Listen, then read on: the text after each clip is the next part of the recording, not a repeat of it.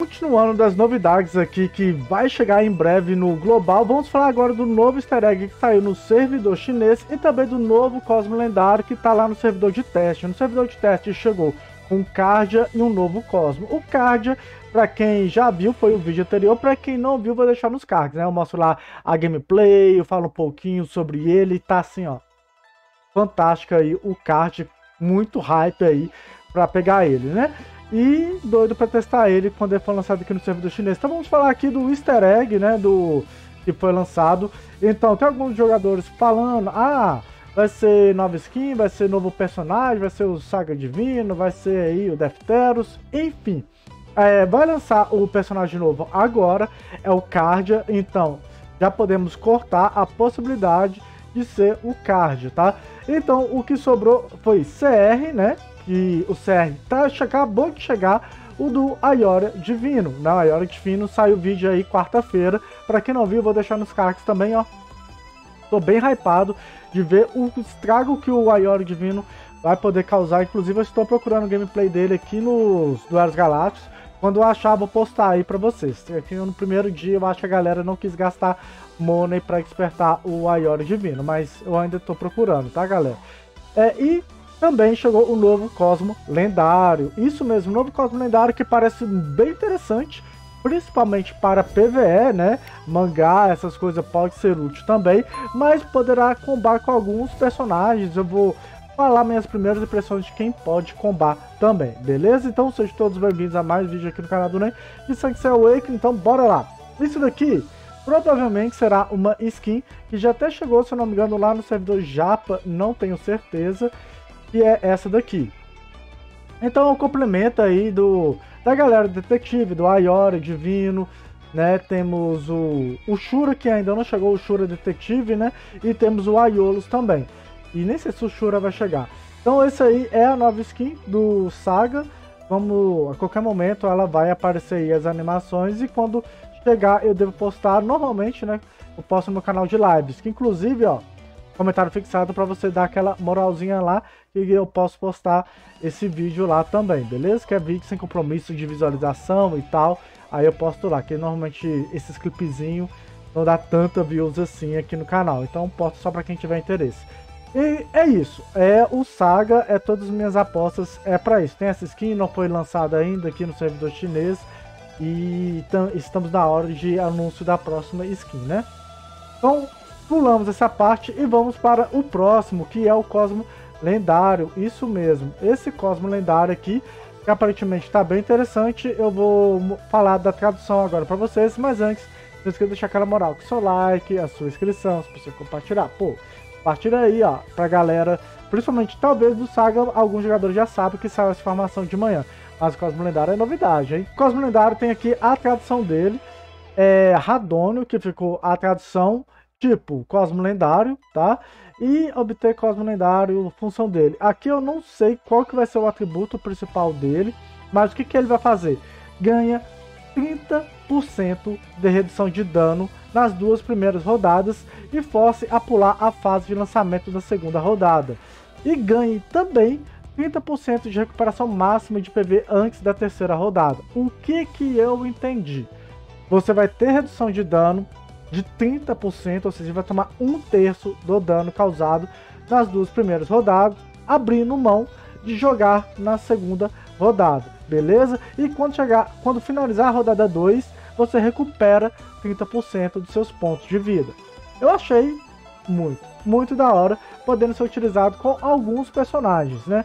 E aqui eu coloquei que é muito bom para PVE, tipo mangá, causa muito dano, aprovação de Atena, ah, vou colocar numa June, por exemplo, né? Eu, por exemplo, uso a minha June de fada, né? Se eu tiver outro personagem com fada, tipo June e Luna, dá pra colocar redução de dano em uma das duas, né? Então, fica isso aí mais pra rodada 1, né? No PVE principalmente, mas é só uma sugestão, né?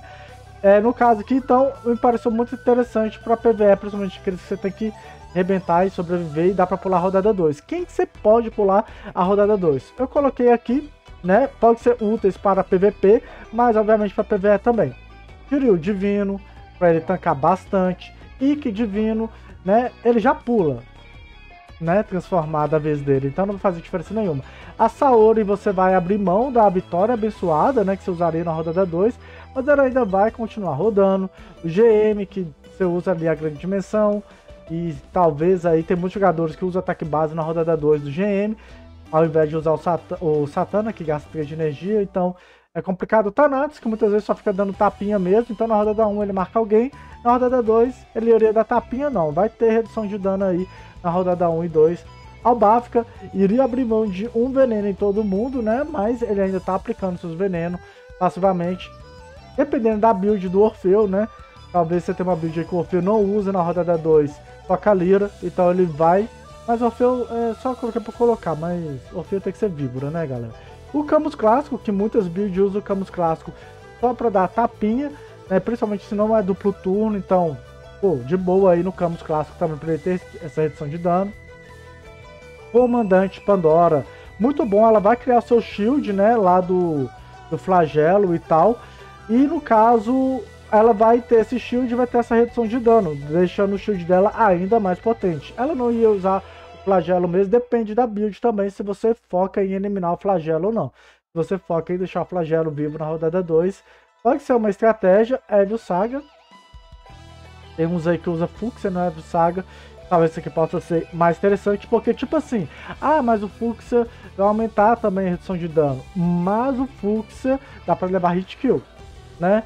E a, eu acho que aqui vai ser melhor a redução também. O Minos, né, que fica lá com seus fios na roda da 2, normalmente ele dá ataque base, se ele não falhar na roda da 1, né, que se falhar, ele zicou são Minos.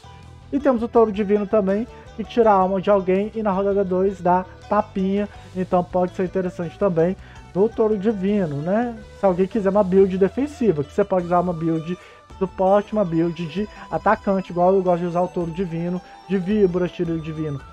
De Víbora, por exemplo, né? É a Saúde, eu uso Loureiro, então vai aí de cada um. Tem muitos Thanatos que usa aí Thanato de Fúcsia, então fica aí outras sugestões. Também coloquei aqui combo Yoga Dourado. Muito bom aí, Yoga Dourado, você pode focar que aquele aliado seu vai ter uma redução de dano aí muito melhor também.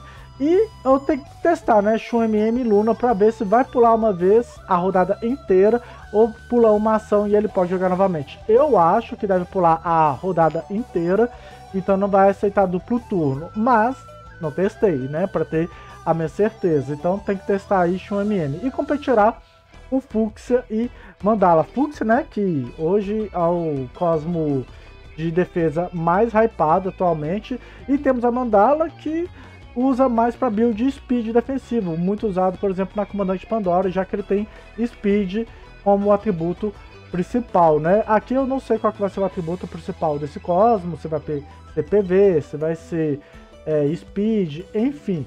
Mas no caso, só fica aí essas informações para vocês. Então, deve chegar talvez junto com o card semana que vem esse Cosmo e quando chegar eu comento aí com vocês também, beleza? Então é isso, galera. Essas aí foram as novidades pendentes de hoje, tá?